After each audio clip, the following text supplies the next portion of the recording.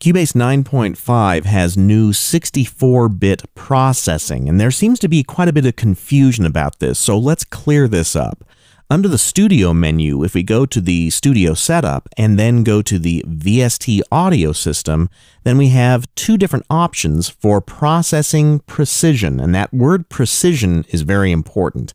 But you can choose from 32-bit or 64-bit. I'm going to choose 64-bit right now. Then I would need to restart Cubase to have 64-bit set in that precision window. But what is 64-bit processing precision and what makes it better than 32-bit, and how does it work inside of a DAW? Well, let me explain the difference between 32-bit and 64-bit processing quickly, and it was best explained to me by Philippe Goutier, who's the author and father of Wavelab, and a, a guy that knows more about digital audio and math than I ever will but it doesn't have anything to do with the dynamic range or the word length of the digital audio file that you're going to be saving onto your computer. That's still going to be 16 or 24 or 32 bit or 32 bit floating point. What it really has to do with is the precision of the mixing engine. So, digital audio processors, including DAW software, use a series of bits to calculate the values. So a 32-bit engine has a value range of between 0 and 4.2 billion values. And if we use the 2's complement method, that's plus or minus 2.1 billion values. So what does that mean in digital audio? Well, let's take a simple number like 2 and let's halve the gain. In other words, we're going to take the number and divide it by 2 to get a value of 1. Then let's take that value and double the gain. So mathematically, we're going to multiply the value by 2, and we end up with 2. And 2 does equal 2. So we took the original value, cut it in half, then multiplied that value by 2, and we get the same number we started with. But then things get a little bit fuzzy. Let's take another simple number like 3 and let's halve the gain. In other words, we're going to take 3 and divide it by 2, and we end up with 1.5.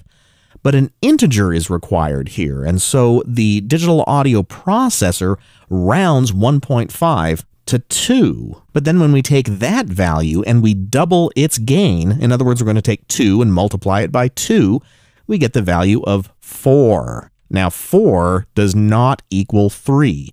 So in the case of number three, we don't end up with the same number as we put in, even though we're using the exact same calculations.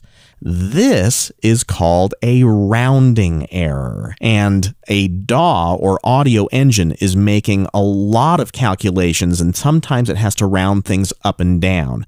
And when a DAW is processing, summing, or mixing any audio signals, you end up with quite a few of these rounding errors, and sometimes they even out and sometimes they don't. But how do you increase the precision of an audio engine? Well, to do that, you have to increase the number of bits. So 64 bit has a value range of between 0 and 18 quintillion values. Or if we use the 2's complement method, we end up with plus or minus 9.2 quintillion. So to increase the digital audio precision, you have to increase the resolution by adding bits. And the more bits you have, the fewer rounding errors you're going to have, and the rounding is going to become less of an issue, resulting in higher precision. And just how much higher? If we look at those two different values, 32 bit at 4.2 billion values, or 64 bit with 18 quintillion values, the actual difference between those two numbers is double the precision. So it doesn't have anything to do with the dynamic range of the audio. It instead has to do with the way that a digital audio processor processes those bits to get the values.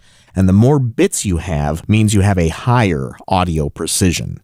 Now, there is one tiny drawback to using 64 bit processing, and that is that it will take a little bit more CPU power to make all of those new calculations, but the benefit is going to be less digital fog, as Philippe likes to call it.